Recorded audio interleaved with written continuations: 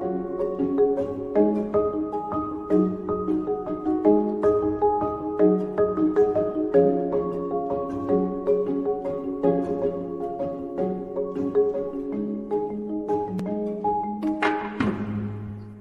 dobry, witam wszystkich szacownych słuchaczy.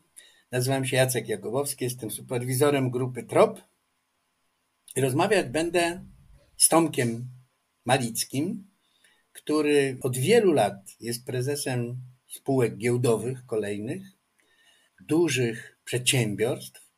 Jest też absolwentem naszej Akademii TROP, coachem, mentorem, wspiera ludzi w rozwoju. Witaj Tomku. Dzień dobry, bardzo, bardzo miło witam wszystkich. Rozmawiać będziemy o dialogu. Wydawałoby się rzecz prosta, natomiast wiem, że ty sam miałeś kiedyś refleksję, ile się trzeba uczyć, żeby ten dialog naprawdę w życie wprowadzić. Co to dla ciebie jest dialog? Myślę, że to jest tak naprawdę bardzo trudna umiejętność, bo dialog to jest też dla mnie umiejętność uważnego słuchania. Tak naprawdę nie ma dialogu bez tego, że chcemy zrozumieć drugą stronę i wychodzimy z założenia, że ta druga strona ma wiele ciekawych rzeczy do powiedzenia i ta druga strona też podchodzi, moim zdaniem, jest ważne założenie, że podchodzi pozytywnie, że też chce rozwiązać pewien problem. Więc na początku takie jakby samo założenie w mojej głowie jest y, pozytywnie nastawione do tego, ale moim zdaniem to jest taki pewien kontrakt, który sobie sami w głowach ustalamy, że dialog jest po to, żeby coś rozwiązać. Dialog jest po to, żeby się na coś umówić. Dialog jest po to, żeby znaleźć pewne rozwiązania. W końcu dialog jest po to tak naprawdę, żeby znaleźć pewien kompromis. Bo dla mnie życie to jest sztuka znajdowania kompromisu w trudnej sytuacji. Dla mnie kompromis, tak kiedyś się śmiałem, że na Zachodzie kompromis oznacza zwycięstwo. Niestety w Europie Wschodniej kompromis oznacza porażkę. Dla mnie kompromis jest czymś, że potrafiliśmy znaleźć rozwiązanie w trudnej sytuacji, czyli tak naprawdę pewnym rodzajem zwycięstwa. No, jak, jak gadaliśmy czasami, to rozmawialiśmy o kompromisie i rozmawialiśmy o przedziwnej historii, kiedy z dialogu wynika jakaś trzecie rozwiązanie, czyli to nie jest między mną a tobą, tylko to jest coś takiego, że ty mówisz jedno, ja mówię drugie, inspirujemy się tym i nagle powstaje coś, co właściwie nie wiem, czy jest twoje, czy moje. To samo jest w grupie. Nie wiadomo, czy to ktoś wymyślił, tylko jedna osoba coś rzuciła, drugie coś rzuciła i nagle powstaje jakieś rozwiązanie, którego w ogóle do tej pory nie braliśmy pod uwagę, a jest wynikiem takiej zbiorowej mądrości. No tak, ale to jest według mnie to jest to, że musimy mieć otwartość na to, że nie zawsze to, co ja myślę, jest dobre albo jedyne i słuszne. Tak naprawdę dla mnie po to jest dialog, żebyśmy mogli spojrzeć na różne perspektywy, tak? Bo każda prawda wynika z pewnej perspektywy, ale to nie oznacza, że moja perspektywa musi być dobra. Wysłuchanie różnych perspektyw daje nam szersze spojrzenie na pewien problem. I to, co powiedziałeś, Jacku, tak? Dialog powoduje to, że jego efektem może być całkowicie nowe rozwiązanie, którego na początku nie zakładaliśmy. Jest to możliwe tylko wtedy, kiedy mamy na to otwartość. Kiedy chcemy tak naprawdę słuchać. Bardzo mi się to podoba. Myślę, że jak rzadko kto mógłbyś to powiedzieć, popatrz, z perspektywy szefa, prezesa, osoby w hierarchii takiej instytucjonalnej, no, która wszyscy mówią o matko, prezes coś powiedział, prawda? I to już jest świętość, trudno, jedziemy, cieszymy się i tak dalej. Albo nie znosimy, ale jedziemy. Ja wiem, bośmy o tym gadali, widziałem to, że twoje zebrania w tej chwili wyglądają inaczej niż kiedyś wyglądały, zanim się tego na, na serio w to wszedłeś. Ale co się dzieje na takim zebraniu? Czy przypominasz takie zebranie ostatnio, w którym dialog doprowadził do rozwiązania kryzysu, albo do wymyślenia innowacji, albo, albo do uzgodnienia czegoś fajnego? A to pewno że to jest każde spotkanie, tylko że co jest ważne, to że wszyscy w organizacji muszą wierzyć, że to jest możliwe. Czyli to nie może być e, jako ja apeluję do tego, że od dzisiaj będziemy rozmawiać, tak? No bo apelowaniem tak naprawdę czy apelem nic się nie zmieni. To musi być zaufanie do tego, to musi być wewnątrz ludzi, że oni wierzą, że tak można. Czyli ja mam prawo się z kimś nie zgodzić, ale to nie znaczy, że ta druga osoba jest głupia. Ja po prostu mam inne zdanie. Mam prawo to zdanie powiedzieć głośno ze względu na to, że okej, okay, wierzę, że inni mi nie wyśmieją, wierzę, że inni potraktują to poważnie, wierzę, że to jest głos dyskusji, wierzę, że traktujemy się wszyscy jako dorośli, tak? Bo to, że ktoś jest prezesem, czy to, że ktoś jest specjalistą, to nic nie oznacza. Wiedzę możemy mieć jakby tak swoją, patrzeć na to z różnej perspektywy. I tak naprawdę szanując się jako ludzie, jesteśmy w stanie dopiero wtedy rozmawiać. Czyli mówisz o czymś strasznie ważnym, co ja bym nazwał kulturą dialogu. Czyli to, że nie chodzi o to, żeby on był z nienacka. Raz jest, raz nie ma i nie wiadomo, co się dzieje, tak? Bo tutaj jest dialog, a tutaj jest decyzja i koniec. Ty mówisz o tym, że w wyniku długotrwałego procesu Twojej pracy nad sobą, a potem wprowadzania tego w życie, ludzie wiedzą, że to jest prawda o tobie, a nie jakiś kaprys. Nie, że ty teraz porozmawiasz, a za chwilę ich, wiesz, sponiewierasz. Nie, chodzi o autentyczność i to jakby możemy to odnieść nie tylko do tego, co się dzieje z pracownikami, ale nawet odejść do, znaczy odnieść to do procesu nie, współpracy z dostawcami, współpracy z klientami, tak? Jeżeli podchodzi się na zasadzie powiedzenia szczerze, że szukamy rozwiązania, to nie chodzi o to, kto oszuka lub kto jest zbytniejszy Chodzi tak naprawdę, żeby znaleźć tą sytuację win-win. Oczywiście w każdym dialogu będzie coś takiego, że na końcu musi zapaść decyzja. Tak? Ale jeżeli ta decyzja jest też uzasadniona, dlaczego podjęliśmy taką, a nie inną, ok, powiem niestety decyzję lub taką, a nie inną, ok, sposób działania, ale jeżeli tak naprawdę jesteśmy w kulturze, że akceptujemy dialog, akceptujemy siebie, akceptujemy różnorodność, to wypracowane stanowisko, to co mieliśmy, może być całkowicie nowe, może być inne niż oczekiwali każdy z poszczególnych rozmówców, ale jeżeli akceptujemy to, że mamy prawo dyskutować, to tak samo zaakceptujemy to, że ta decyzja nie jest może dobra dla Józia, Zdzisia czy Agnieszki, ale jest dobra dla czegoś, co jest jakby firmą lub czymś, jakby naproszę, że to może to dziwnie zabrzmi, ale dobrem większym, co jest dobre dla całej organizacji. Albo dla tej organizacji jej klienta, prawda? Albo jej dostawcy, albo jej jakiegoś innego interesariusza. Tak, albo inaczej, problemu, który akurat rozwiązywaliśmy, tak? Ale ważna jest ta autentyczność i prawdziwość. Ja mam takie wrażenie, kiedyś rozmawialiśmy o tym, że to jest najbardziej pożądany stan, kiedy po rozmowie naprawdę ludzie widzą, że ta decyzja się tu zrodziła. No ale bywa tak, że są różne inne sposoby myślenia, i mam też wrażenie, że ludzie, którzy mieli możliwość się wypowiedzenia, pokazania, tak, jakby takiego procesu, no i w pewnym momencie ty, jako prezes, podejmujesz jakąś decyzję, no bo trzeba ją podjąć, ale w tym, ale oni po pierwsze byli wysłuchani, a po drugie, jeżeli, znaczy ty jesteś gotów, pamiętam jak kiedyś o tym mówiłeś i chciał cię podrążyć w to, że jesteś gotów na, na przyznanie po dwóch miesiącach, że może lepiej było w inną stronę i na przykład jeśli da radę, to skorygujemy. To jest niezwykle ważne, prawda? Podejmujesz decyzję, nie jesteś, wiesz, nie wiadomo kim jesteś, ale, no ale przyglądacie się temu. Jeżeli co innego, no to okej, okay, to no trudno. Nie ale tak naprawdę każda decyzja jest na bazie określonej wiedzy. Wiedzy, którą mieliśmy w danym momencie, i tak naprawdę każda decyzja jest pewnego rodzaju ryzykiem. Jeżeli po dwóch, trzech miesiącach widzimy, że mamy, popełniliśmy błąd, a mamy do niego prawo. To, że popełniliśmy błąd, to po prostu oznacza, że popełniliśmy błąd. I to jest pytanie, czy lepiej brnąć złą decyzję, czy zatrzymać się i nie pomyśleć, jak możemy zmienić kierunek, bo tak naprawdę zarządzanie to jest pewna droga. Na co mamy wpływ? Na bieżącą chwilę, tak? jeżeli daną decyzję powinniśmy zmienić, czyli skręcić trochę w lewo i w prawo, to miejmy odwagę to zrobić. Moim zdaniem czasami przyznanie się do błędnej decyzji jest dużo większą sztuką niż brnięcie w nią. Tak, ale to jeszcze raz wracam do tej autentyczności. Każdy ma prawo do błędu. Szef tak samo. Przecież nie ma ludzi nieomylnych, oświeconych, dotkniętych ręką Boga. To naprawdę jest ważne tylko, czy ile decyzji podejmujemy słusznych, ile błędnych. Jeżeli podejmiemy więcej decyzji słusznych, to jest fajnie ale im bardziej potrafimy potem odpowiedzieć szczerze, tu był błąd, ponieważ. Ale mu jeszcze raz powiem, decyzję podejmuje się na bazie określonej wiedzy w określonym czasie, a środowisko się zmienia i nie ma co się złościć na to, że świat się zmienia. Po prostu zaakceptujmy to i dostosowujmy się do tego, co się dzieje. Przepiękne. Chciałem powiedzieć, że mm, to, co mówisz, podbudowałbym jeszcze też takim ważnym elementem, też w naszej relacji w swoim czasie bardzo ważnym, jak praca nad poczuciem własnej wartości. bo, mówi, bo tę autentyczność można osiągnąć w momencie, w którym się jest sobą, w którym się wierzy w siebie, w którym się znajduje taką własną godność. Od większość, wielu menadżerów, z którymi pracuję, ma główny problem, że oni brną w coś, ponieważ mają dużo lęku i niepokoju i po prostu siedzą w tym lęku i się boją, że jak przyznają się, nie uznają, tylko przyznają, że popełnili błąd, to tym samym inni zobaczą, jacy oni są głupi.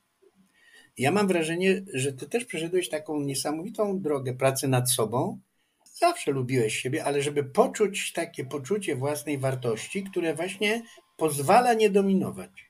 Czyli, że to nazwę co innego, że to nie jest wiara w siebie, czy to nie jest pewność siebie, jest to zaufanie do siebie.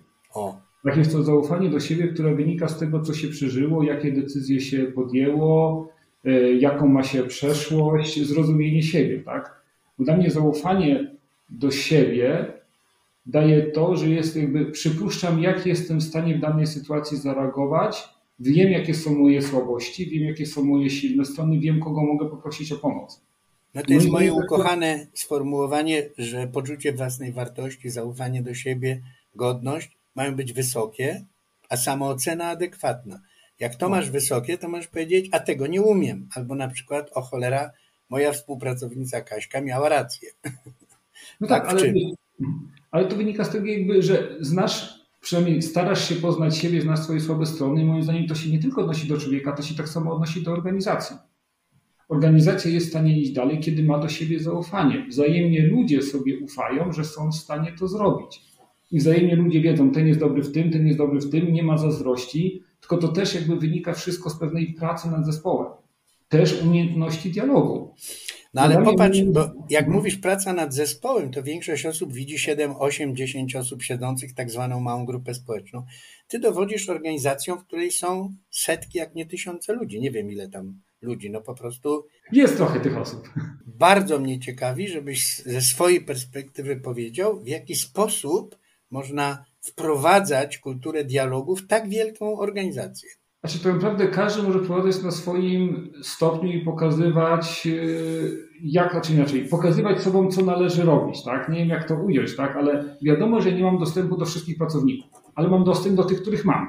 Jeżeli mam dostęp do tych, których mam, jeżeli oni zobaczą, że tak można, to mogą zejść tym dalej, pójść dalej, pójść dalej. To jest proces, to jest nie tak, że to się powie, że od jutra będziemy rozmawiać i wszyscy rozmawiają. To jest długi proces, żeby, mówię, budowania tego zaufania to kiedyś nazywaliśmy to procesem, żeby to było naukowo, procesem kaskadowym. Prawda? Że ty masz dostęp, to może być nawet w hierarchicznej organizacji, większość jest hierarchiczna, prawda? Masz dostęp do jakichś dyrektorów, masz do, do menadżerów, którzy zajmują się działami różnymi, tak? I oni w kontakcie z tobą, może też na skutek coachingów, szkoleń zewnętrznych różnych, ale, a, a najczęściej na skutek własnej mądrości. Przechodzą taki proces, że się otwierają na dialog z tobą na początku. Tak, a potem że... zaczynają to wnosić do siebie.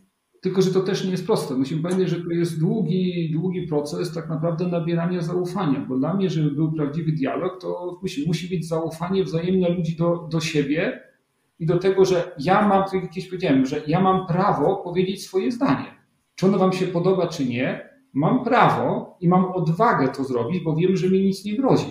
Tak samo mówię, każdy ma prawo popełnić błąd. To też nie jest nic strasznego w organizacji, tylko im szybciej powiemy, że popełniliśmy błąd, tym jest lepiej jest tam w stanie go rozwiązać, tak? Powiem więcej, bo to nie chodzi tylko o to, żebym ja musiał się strasznie wysilić, żeby powiedzieć, tylko że jest taki moment, w którym wszyscy mówimy swoje zdanie i to jest akceptowane, mhm. a potem jest moment, w którym się na przykład konfrontujemy, rozmawiamy, ale nie ma powiedzenia jesteś głupi, tylko jest powiedzenie mam inne zdanie. Nie ma powiedzenia moja prawda, znaczy jest ktoś przekonany do czegoś, bo ma doświadczenie i tak robił, ale kto inny jak coś mówi, to jest postawa, hmm, zastanowię się. Jest nieprawdopodobne i pewnie tobie trudniej o tym mówić, a mnie łatwiej o tobie, że to jest jakiś rodzaj emanacji pewnej postawy, taki subtelny, prawda, że to są konkretne sytuacje, kiedy ludzie to widzą i konkretne zdarzenia, ale widząc się z tobą, ja na przykład mam takie wrażenie, że ty bardzo lubisz się śmiać. I że wiele jest takich sytuacji luźnych, wiele jest sytuacji śmiesznych, wiele jest podkpiwania z siebie nawzajem, albo takich różnych rzeczy, które powodują, które nie przekraczają jakiegoś poczucia godności, ale tworzą ciepło, związek, prawda? I ta, to zaufanie jest wewnątrz tego ciepła. Tak, ale to wiesz, Jacku, znowu wrócę do tego, że żeby móc sobie pozwolić na żarty, to wracamy do tej autentyczności, tak? Bo jeśli kiedy jesteśmy weseli, możemy być weseli, ale kiedy jesteśmy poważni, to też jesteśmy poważni, czyli mamy zgodność pewną z, rozumiemy, znaczy rozumiemy, może rozumiemy swoje emocje, to brzmi dziwnie, ale tak naprawdę to, że jestem zły na coś, to jestem zły na coś, nie na kogoś. Tak naprawdę i jakby to powiedzieć, to, że ludzie to rozumieją i akceptują, to daje nam to, że potrafimy rozmawiać nawet w sytuacjach kryzysowych.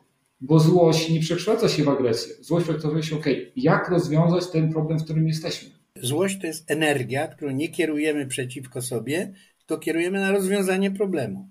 Bo jest palący, bo coś się dzieje, bo z tego powodu tracimy, bo jacyś ludzie, tak? Coś się dzieje. Tak, dokładnie, bo to jest zawsze, kiedyś się śmiałem, bo to jest takie w Polsce szukanie winnych, tak? No ale co nam to da? Tak? Bo potem ludzie tracą energię, znajdźmy winnego. No dobra, trzy dni znaleźliśmy winnego, ale problem dalej jest. Tak naprawdę dla mnie szukanie winnych jest najgorszym rzeczą, która może być, bo to nie zmienia sytuacji. My szukajmy rozwiązań, a tak naprawdę osoba, która popełniła błąd, jak powiedziałem, ma prawo go popełnić. Oczywiście nie trzy razy z rzędu ten sam. Tu się zgadzam, bo to też jest nieakceptowalne. Tak? Bo wtedy też trzeba rozmawiać, dlaczego popełniamy ten sam błąd. Dla mnie błąd jest elementem sytuacji edukacyjnej, że on daje nam informacje, żebyśmy mogli zmienić swoje postępowanie. Bo naprawdę, jeżeli cokolwiek robimy, wszystkie innowacje jakby były oparte wieloma błędami, bo nie da rady stworzyć nic nowego, nie popełniając błędów. No nie ma takiego geniuszu, tak, który stworzy coś nowego, nie popełniając błędów, więc dajmy sobie do tego przestrzeń, no mówię, byle nie popełniać trzy razy tego samego, bo to już wtedy dla mnie jest głupota, tak. No ale wtedy też można powiedzieć, jeśli ktoś ma taki nawyk, prawda, wynika to ten, no to rozwiązaniem jest, które dobrze znasz, no to niech idzie na jakąś pracę nad sobą, coaching, nad zrozumienie, dlaczego powiela ciągle te same błędy, prawda? Jeżeli chce pełnić to stanowisko, tą funkcję, być tą osobą, która to robi, to może popracować nad sobą, stworzyć nowe, tak, przejść sytuację edukacyjną. Nie, że ktoś mu powie jak, tylko poprzez samoświadomość, poprzez przyjrzenie się, zmienić tak, swój sposób działania. I dla mnie, co jest jeszcze ważne w dialogu, może jakby się mniej na to patrzył, tak naprawdę dla mnie dialog buduje odpowiedzialność. Bo dla mnie, jeżeli się wciągnie ludzi w zarządzanie firmą, w dialog, to oni biorą też odpowiedzialność za całą firmę, bo to jest ich firma, ich decyzja, a nie tylko decyzja jednego oświeconego, który jest na górze, który mówi, jak ma być. Więc dla mnie budowanie kultury opartej o dialog to jest też kultura oparta o działanie, zaufanie, branie odpowiedzialności. A to jest według mnie najważniejsze w zarządzaniu, żeby ludzie chcieli, a nie musieli. Żeby traktowali to jako swoje, a nie cały czas jako cudze, że ktoś przyjdzie i rozwiąże za mnie problem. Ja myślę, że naszej, naszego dialogu powinny wysłuchać osoby, które mówią coś takiego, y, przychodzą do nas mówią, y, słuchajcie, jak doprowadzić do tego, żeby nasi pracownicy byli bardziej zmotywowani? Ja mówię, nie przeszkadzać. Prawda? Przejść taką drogę, jaką ty przeszedłeś, jako przychodzi wiele osób, w której wkłada podstawowy wysiłek w siebie, w swoją samoświadomość, w tą autentyczność, o której mówisz, tak? W, w taką, pew, taką poczucie własnej wartości połączone z pokorą, tak? Z takim, że ja mogę się mylić, jak, jak w ogóle jestem, no w ogóle często się nie mylę, tak? Mam fajne pomysły, no czasem się pomylę, co zrobić. I jeżeli po pierwsze masz to w sobie, a po drugie potrafisz to wyeksportować, potrafisz to stworzyć w empatycznej przestrzeni dialogu z drugą osobą, prawda?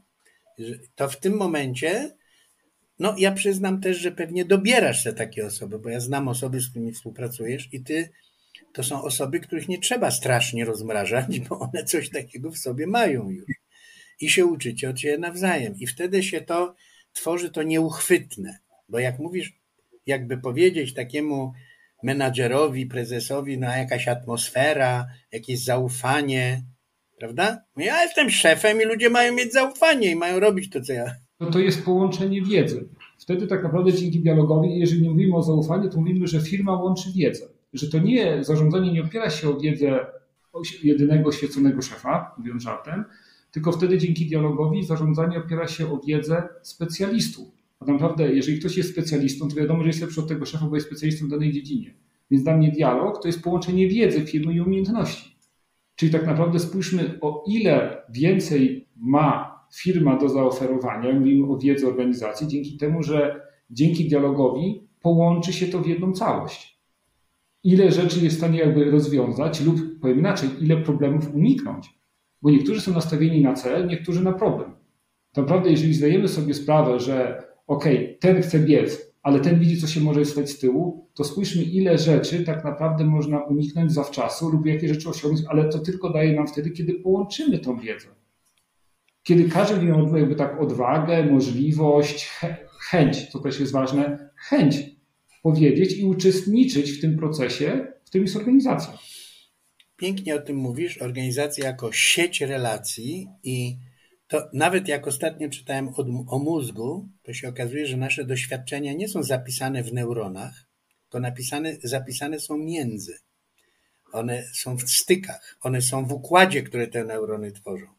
I można powiedzieć, mądrość organizacji nie jest zapisana w ludziach, trochę jest, ale najbardziej jest w tym, jak jest między nimi. Jeżeli jest dialog, to ktoś, kto nawet ma marną wiedzę, ale jakąś, tak? Znaczy, no wiesz, niewiele wie jeszcze, ale na przykład z tego niewiele wiedzenia może zadać pytania, które powalą specjalistę.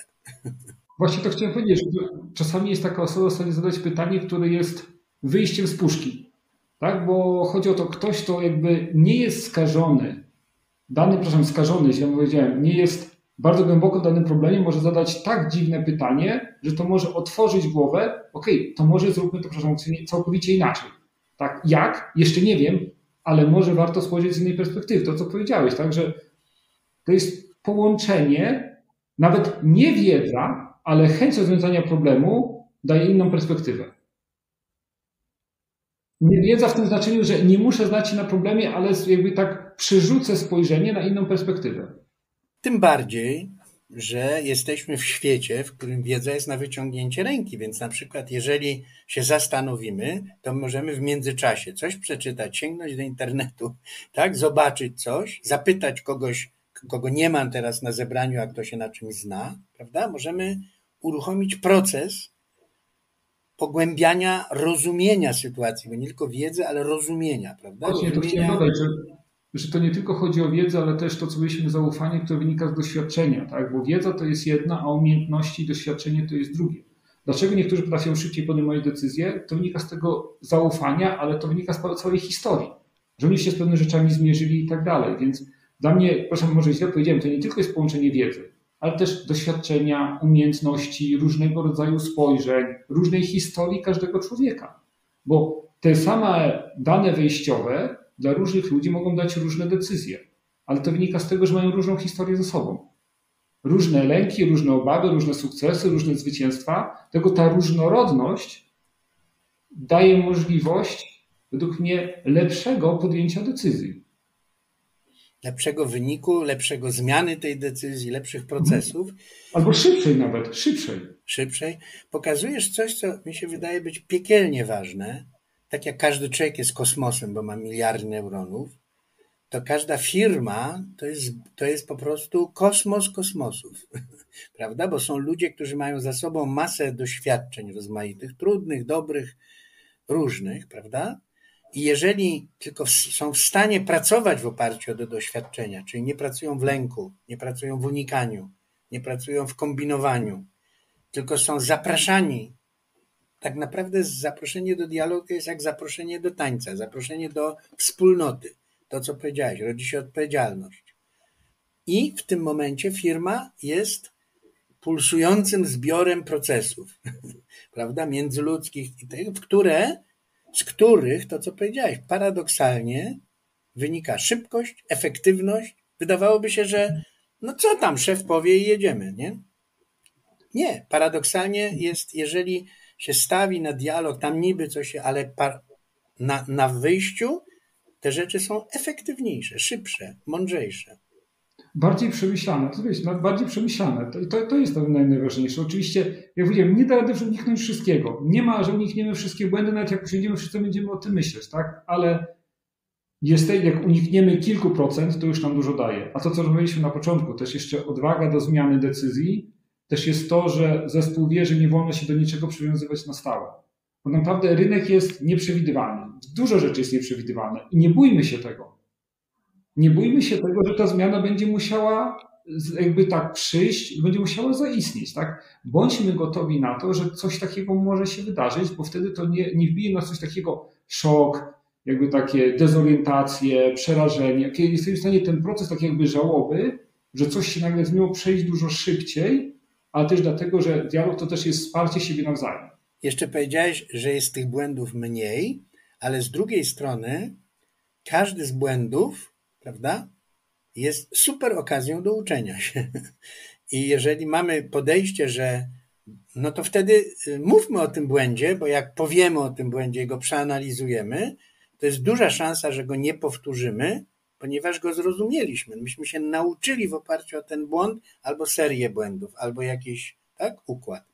Więc można powiedzieć, oczywiście to nie może być tak, że tych błędów jest więcej niż sensownych rzeczy, ale jakich jest ich nawet sporo na początku na przykład jakiegoś projektu, działania, prawda, to idzie w jakąś ślepą uliczkę, jedną, drugą, no to mówimy, jeżeli tylko jest zawarta w zespole umiejętność dialogu i uczenia się z tych błędów, no to w tym momencie jedziemy.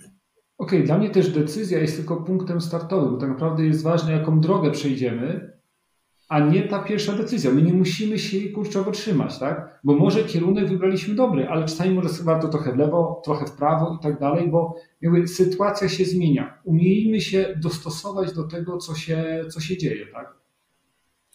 Tomeczku, dziękuję Ci bardzo za rozmowę i moim zdaniem była ona niesamowita, dlatego że wyszliśmy od dialogu, tak? I nagle się okazało, że to jest wszystko że on jest śluzą do wszystkiego, do odpowiedzialności, do mądrości, do efektywności, do, do zwykłego bycia szczęśliwym w pracy. Dziękuję Ci bardzo. Rozmawiałem z Tomkiem Malickim, y, menedżerem, prezesem firm giełdowych, coachem i absolwentem naszej Akademii TROP, a rozmawiał Jacek Jakubowski, superwizor grupy TROP. Pozdrawiam serdecznie. Dziękuję, pozdrawiam również. Do widzenia.